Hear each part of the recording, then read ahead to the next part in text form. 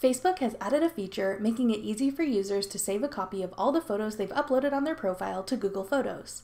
I'm Jessica from TechBoomers.com and in this video, I'll show you how to transfer your Facebook photos to Google Photos. Now let's get started.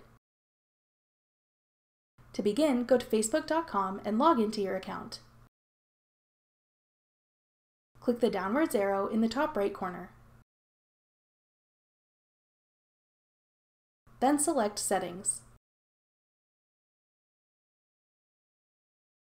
On the left, click Your Facebook information. Beside Transfer a copy of your photos or videos, click View.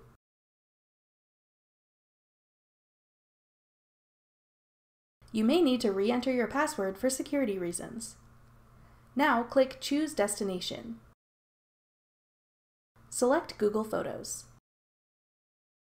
Now decide if you want to transfer your photos or videos. You can only do one of these at a time. Then click Next.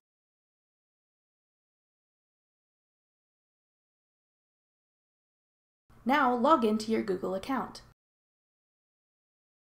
Click Allow in the pop-up window.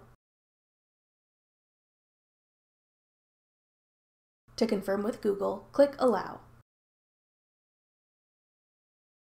You'll then be directed back to Facebook. To finalize this, click Confirm Transfer. Your transfer will then be requested. It may take some time for the transfer to be completed. When it's all done, all of your Facebook photos will appear in your account on Google Photos.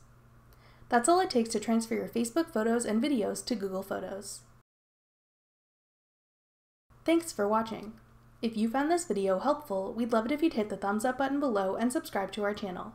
We put out great new tech tutorials like this one twice a week, every Tuesday and Thursday.